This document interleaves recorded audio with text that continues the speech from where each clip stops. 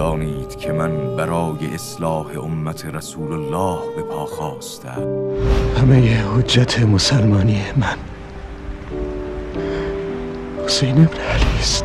رسول خدا چه پیامی آورد بر شما؟ نزدیکترین کس به خدا با تقواترین شماست.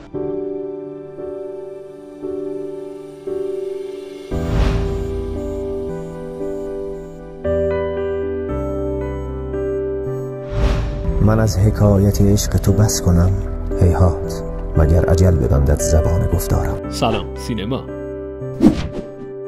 اگر ویدیومون دوست داشتین ما رو like، subscribe و notification مون رو فعال کنید.